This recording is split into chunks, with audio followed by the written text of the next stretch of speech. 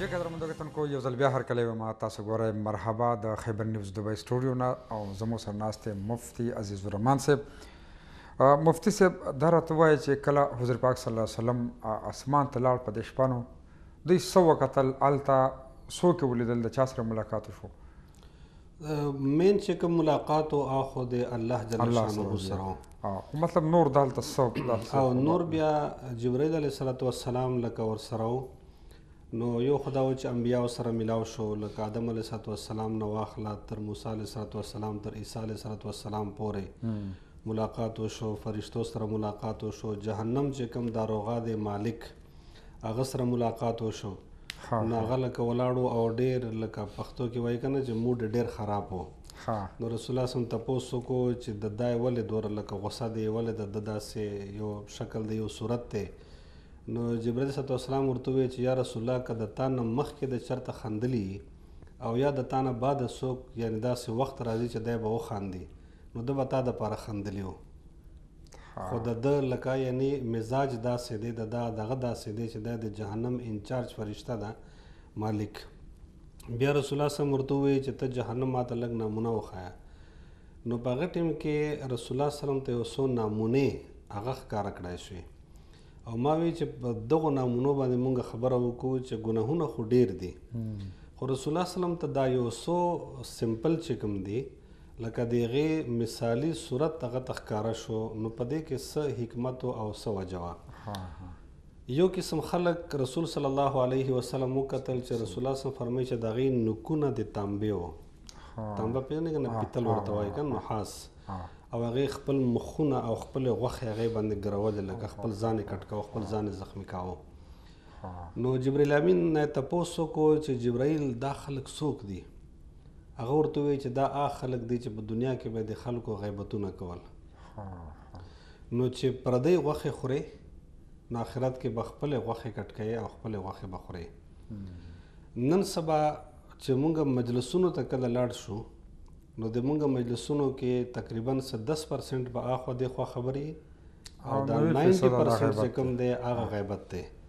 بیا چې کله چاته ووایې چې بی غیبت مه کوه پریږده سړی وده لګی هغه وایي چې دا غیبت نه دی وایي دا حقیقت دی خو مسله دا ده چې دوه څیزونه دي یو غیبت دی او یو تهمت دی غیبت حقیقت دی غیبت هغه شی دی چې یو سړي کې یو عیب دی یو نقصان دی یو غلط کار دی او هغه پیټ پی چې یعنی هغه روستو ته خلکو مخکې لګیا یې او هغه یادی دی ته غیبت وایي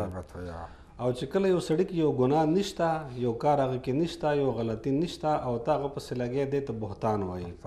یو ټلیفون کال دی مفتی صاحب دا واخلو ښه واخلو هلو هلو هلو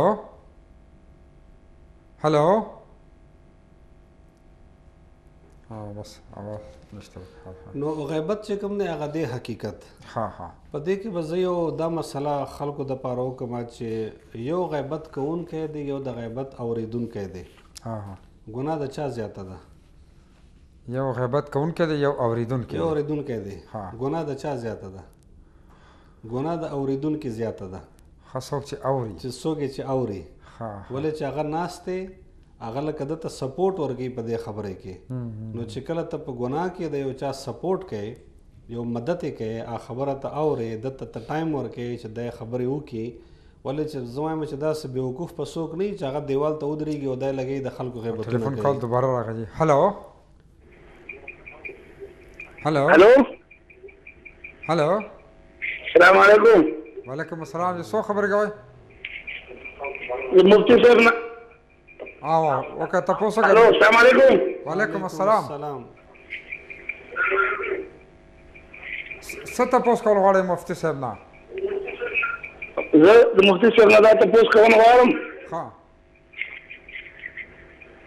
کوه کوه خبره کوه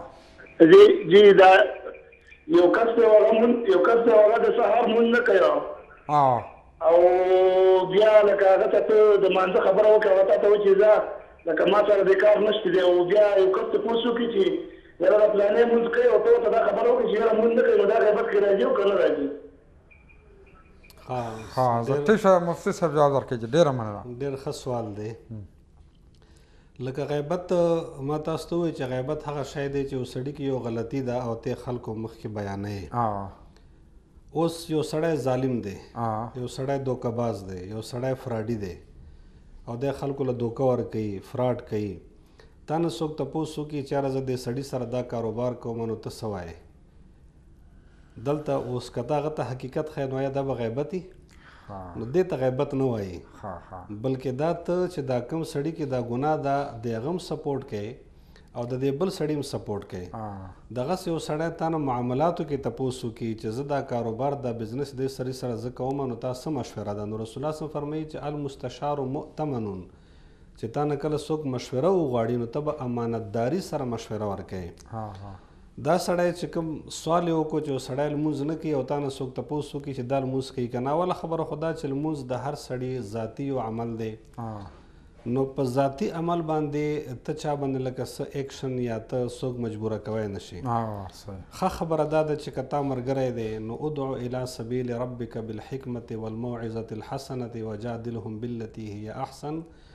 خدای پاک وايي چې ډېر په ښايسته طريقې سره هغه دما لارې ته وغواړه، هغه ته نصيحت وکړه، خوږه خبره ورته وکړه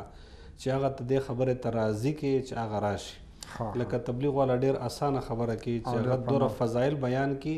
چې هغه سړی خود به خود هغه طرف ته مائل شي هغه طرف ته راشي. که يو سړی تا نه تپوس وکړي چې دا سړی لمونځ اودس کوي که نه کوي. ټليفون کال دې مخکې ده. هلو. سلام عليکم. وعليکم السلام جي. څوک خبرې کوئ؟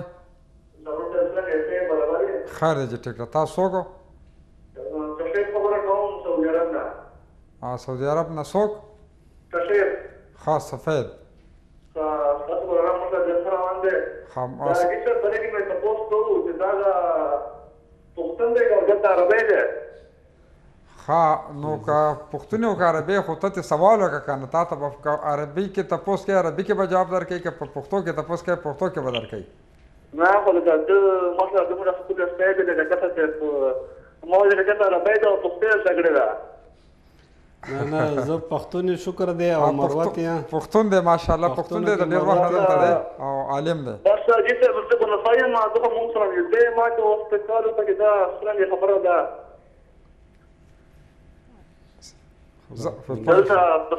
په سعودي عرب کې وځي دلته پولیس نه ولري دا ګاډي په سر کې نو دلته اورډر په بده مني سعودي عرب کې او هو دا دلته هم دغه څه د قانون شته دی خدا دې چې هغه د پر خپل شرایط دي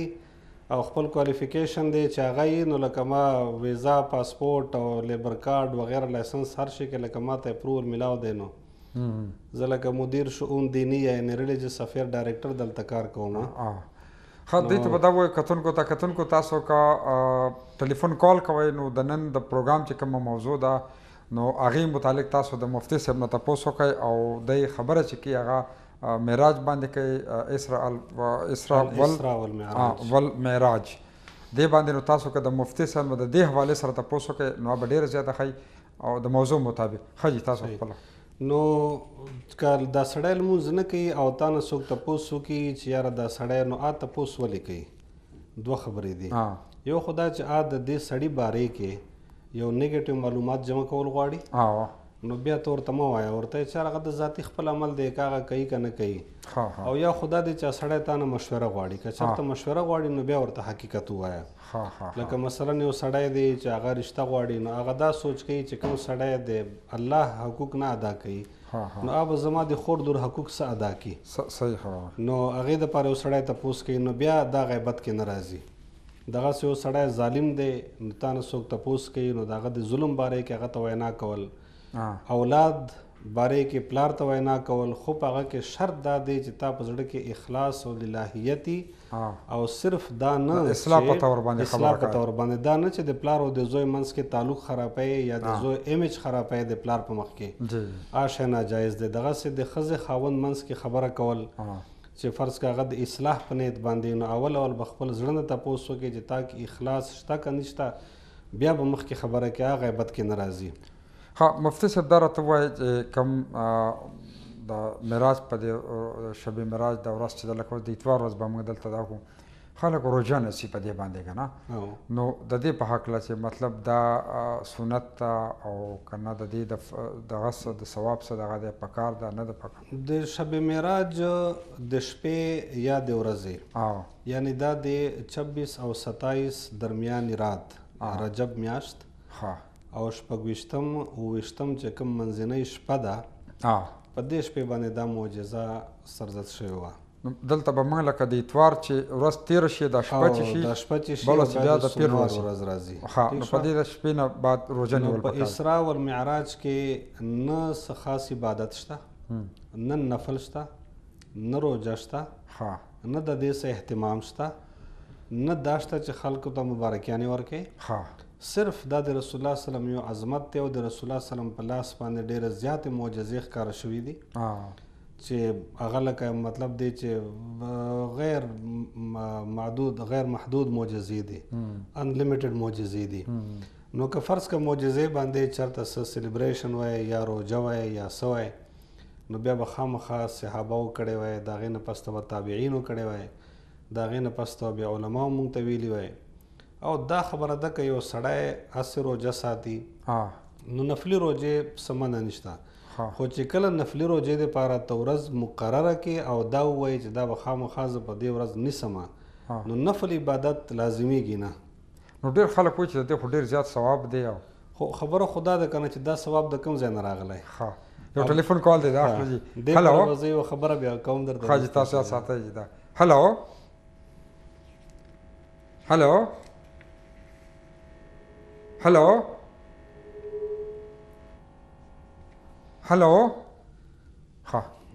د خلکو خبره ګوره دا سي چې څوک هم دا خبره کوي خاص که نن سبا فیسبوک باندې په میسجز باندې ډیر سیزونه داسې راځي چې دا صورت وایا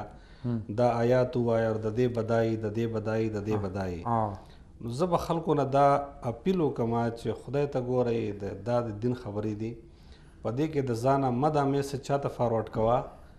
مه نور خلکو ته وایه په دې ګناهګاریږي سړی او دا داسې دوره غټه ګناه ده لکه یو سړی د نبوت دعوه چې کوي یو دا هم وي کنه چې دا میسج تاته راولېږوي که دا تاسو لسو کسو ته فارورډ نه کړو نو تاته به نقصان رسي نو هغه دا ټولې غلطې خبرې دي بې بنیاده ها ها بل ورځ یو سړي سره زما لکه یو خبرې باندې بحث شو نو ما ورته یاره ته حدیث او قرآن دوره غټې خبرې کوې ته ما ته دا ووایه چې د قرآن پاک د آیاتونو تعداد څوره دی اوس که زه تانه تپوس وکم تا ته به هم جواب درځي معلوم به درته نو هغه ما ته لنډ ووی چې ها ولې ما ته پته نشته وای چې 1666 او دا په هر پروګرام کې دا چې چانم تپوس وکې بس به دا وایي چې 1666 چه دا تپوس وکړي چه بهی دا چه هزار چه سو چیا سردار ته په کوم بنیاد باندې وایې بیس څه دی دا پته چاته نشته اوریدو خبره ده خو الان کې د قران پاک د آیاتونو صحیح تعداد چه هزار دو سو اټتیس دی ها چه هزار دو سو اټتیس اوس که چرته فرض کې وسړی سلور سوه آیاتونه زیات ګڼي خو چه زیات آیاتونه ګڼې خدام کفر دی او که یو سړی د چه هزار تیس سو چیاسټ نه انکار کوي او چه هزار دو سو اټتیس وایي خو دا هم کفر دی خو ولې نه چې قران ستا مخکې دی واخله کالکولیټر واخله او حساب یې کوه اوس دا ګز او دا میدان پته به ولګي نو چې معراج وره چا نه تپوس وکړي چې بهي ته ولې روژه ساتې ولې چې دا عبادات دي عبادات صرف هغه شي ته وایي چې کوم د الله او د رسول په حکم باندې مونږ ته راغلي دي لکه د ځانه نفلی عبادت څه منه نشته. مفتی صاحب د بریک وخت شوی بریک اخلو جی قدرمند.